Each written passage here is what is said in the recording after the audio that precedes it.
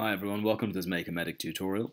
Today we're going to be discussing a couple of very commonly used terms, urea and creatinine. So first of all, we're going to talk about the physiology of creatinine. So it's a byproduct of creatine metabolism within the muscle, and it's produced at a relatively constant rate, which is dependent on the extent of your muscle mass. So someone who is more muscular and has a larger muscle mass will produce a greater amount of creatinine. So it goes into the bloodstream, and from the bloodstream we can sample it and measure the serum creatinine concentration.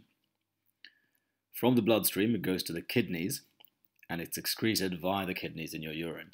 And the important property about creatinine is that it's freely filtered, which means that the concentration within the plasma is the same as the concentration within the filtrate of the kidneys. So the key principle that helps you understand creatinine is that it's produced by the muscle and excreted by the kidneys at a constant rate. So provided that your muscle mass remains fairly static, which it generally does, and that your kidney function remains adequate, the serum creatinine concentration should remain fairly stable. If there is a decrease in kidney function, however, for whatever reason, it means that there's going to be reduced creatinine excretion within the urine, and hence an increase in serum creatinine. So this is why creatinine is used as a marker of kidney function. Given that there are a few other factors that contribute to creatinine concentration aside from just kidney function, there are a number of different formulae and calculations that can be done to estimate the glomerular filtration rate based on the serum creatinine and a few other factors. So it can be taken into account alongside the age, sex, and ethnicity of a patient to determine the estimated glomerular filtration rate.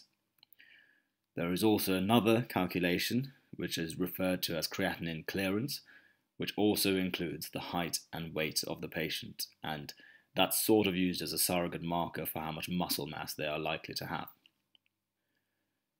So moving on to urea, it's a nitrogenous waste product that's also excreted by the kidneys and hence an elevation in your serum urea concentration would be suggestive of some sort of renal impairment. However, there are a few caveats to interpreting urea.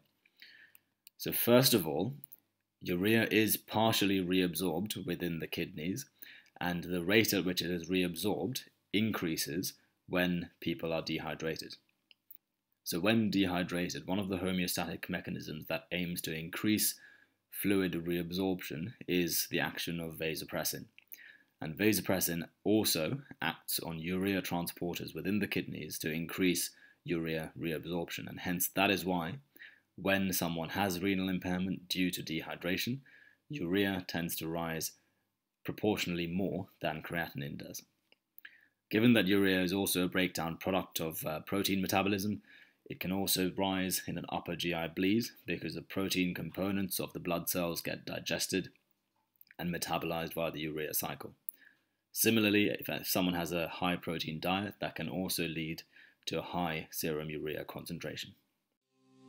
You.